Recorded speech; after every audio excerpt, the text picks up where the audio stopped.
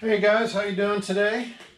Gonna sit down and do a, another quick video. Gonna try to keep it quick uh, on how to program your Spektrum DX9. Uh, if you've got a uh, you know latest version DX8, Generation 2, DX7, DX6, uh, this is going to apply to those radios as well. But I'm going to show you how to program these Lemon Stabilizer Plus receivers in your radio. Um, there are videos on how to program the older version, which will quickly go over the differences. They look very similar, um, but uh, I didn't see a video for the new ones, a Stabilizer Plus, so I'm going to do that for my friends and um, a few people online to uh, make it easy for them. So first off, I want to thank um, Daedalus66 Nigel. He posted this in the uh, Lemon uh, Stabilizer thread, um, and it was a big help to me. He's been, you know, fantastic resource online. Um, he also credits uh, Andy Coons over at Spektrum and uh, Horizon. That guy's a genius. He's helped me many times and others on this. So I want to give those guys credit on this before I get started. At any rate, uh, let's take a quick look at these two stabilized receivers. Now, these are the lemons, and I'll get close so you can see them.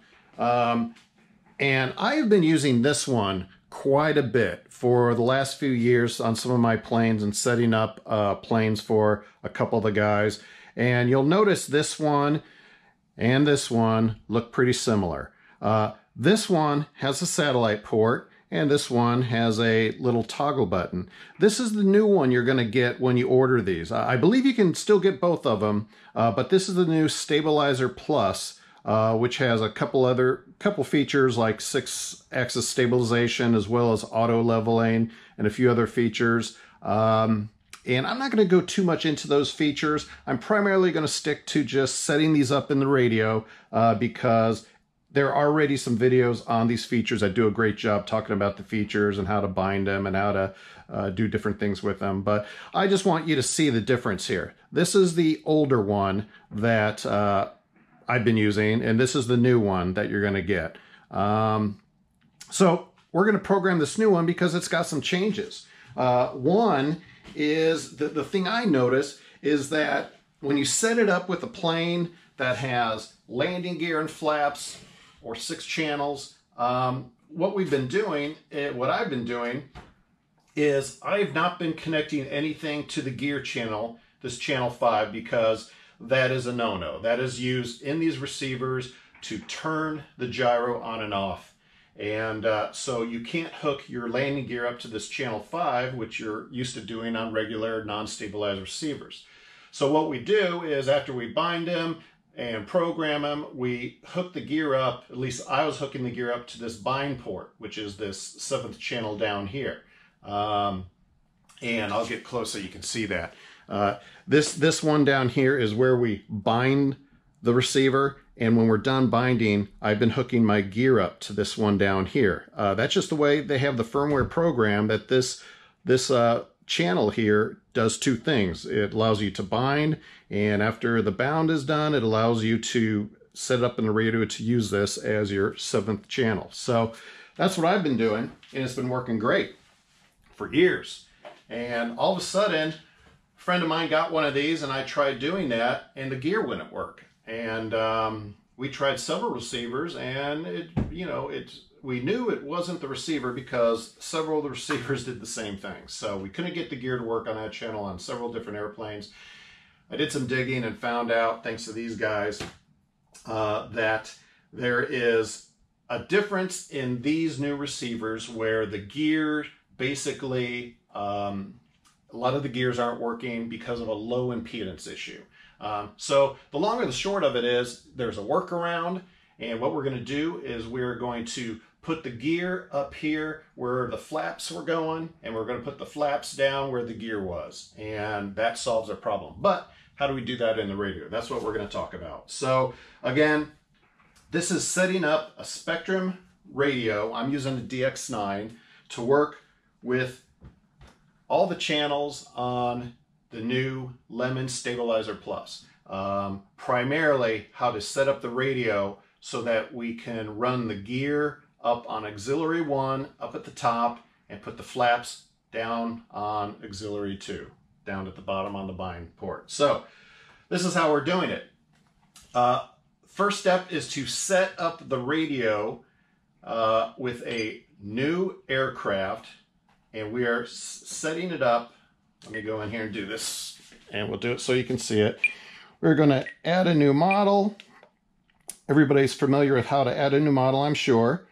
And the first thing we're going to do when we have our new model is we're going to go down to aircraft type, okay?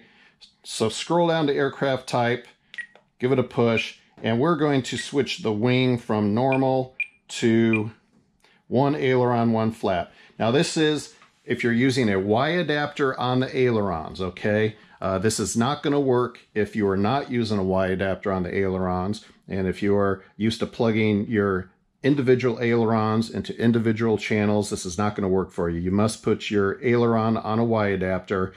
Uh, that's primarily what I've been doing in most of my aircraft to use all six channels um, so that I can have flaps and uh, retract. So that's what you want to use. One aileron, one flap, and you want your ailerons on a Y adapter, okay? We're going to leave the tail set to normal, and we're going to back out of there. This enables it so that in the radio we have a flap system. You know, what we'll do real quick is we'll go to System Setup, choose Yes, come down to Channel Assign, okay? Uh, this is what we're going to do before we go in and mess with the flaps, okay? What we need to do is we need to go down here to number six where it says auxiliary one, okay? Um, we need to set that to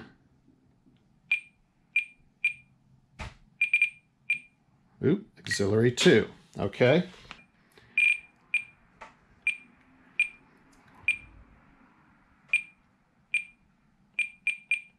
There it is, all the way down.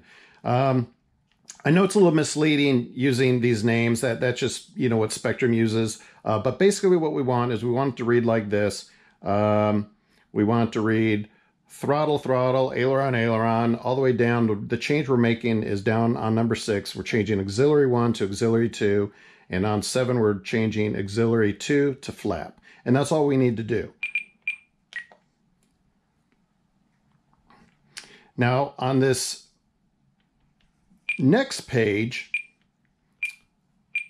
let me go back to previous because uh, I want to make sure you guys know that I went all the way down and clicked on next here.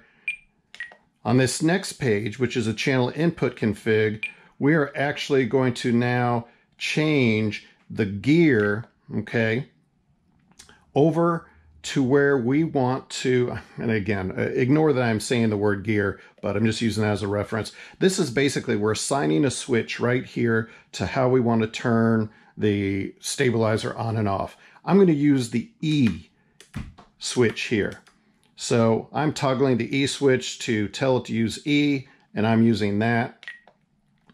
I am then going over to auxiliary 2 and I'm saying, what do I want to use for my landing gear? This is confusing, I know. So don't, don't worry about anything other than we're going to use our regular gear switch, which is the A switch for that. Um, so most of us use this A switch, two-way switch for our landing gear. That's what I'm using. If you have a different two-way, you know, two-position switch you want to use, that is fine. Uh, but that is what I'm using for this video, this A. So now what's happening is number seven, auxiliary two is on A. Number six, auxiliary one is on NA. Number five, gear is on E, okay? That's all we need to do. We can back out of that. And there's only one last step to do, eh, and I was talking about setting up your flap switch. So we'll need to go down and on our main screen go to flap system. Flap system is available now because we chose that single aileron. Um, we are now going down to where it says inhibit and we are now choosing a switch we want to use for our flaps. Okay, I like to use the three position switch which is labeled D here. So that's what I'm going to use. Uh, I'm choosing D. And then I want to actually go over here to the flap uh, positions, position zero, and I need to actually run this up to about 60. If I don't do this and leave those at zero, then when I hit the switch, nothing's going to happen. I'm going to think something's wrong. So I want to run up position zero to like 60, position one, leave it at zero, in position two, I'm going to go the other direction and bring it down to minus 60.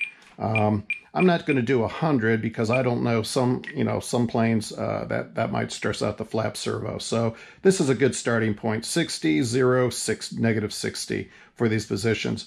The reason why is if I don't do that and I bind and then I test this flap here, if those are at zero value, nothing's going to happen. I'm going to think I did something wrong in the radio. So I have to sign values in here. If you worked with the flap system before, this is something you're used to doing. Um, you might even want to go through and I like to set my speed on here to two seconds.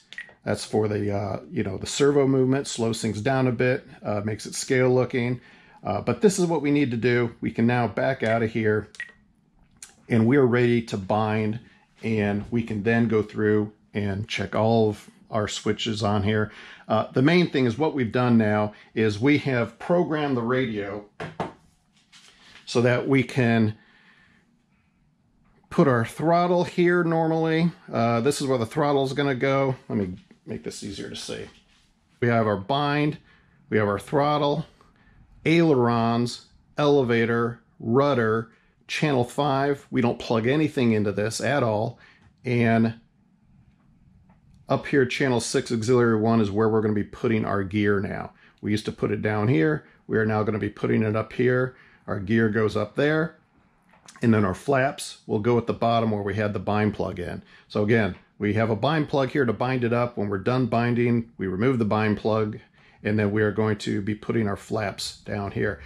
I used to put the gear down here. And again, because of the low impedance issue, the gears weren't working, but the flaps work fine on here. So that's what we'll do with how we set it up in the radio. This will work fine. I'm not going to get into the switches or the gain pots or anything like that. There's some great videos on that. Um, just do a do a YouTube search for Lemon Stabilizer Plus. That'll all come up for you. Any rate, uh, you can bind up now to what we have set up in this radio, and it will work fine. I've tested it on both uh, you know, tail dragger, uh, tricycle landing gear. Uh, this is the airplane that I discovered the problem in. buddy of mine just pulled it out of the box, wanted me to build it. So I couldn't get the gear to work on there. Now, with the new programming, it is working beautifully. I've got the gear up here where the flaps used to be, the flaps down at the bottom where the bind plug is, and it works beautifully. Um, so if you follow those instructions, it'll work beautifully for you. We had a couple of guys at the field that thought there was something wrong with the uh, receivers and sent them back. I thought the same thing until I dug a little deeper. So I hope this video is helpful. Happy flying. Be safe. Thank you.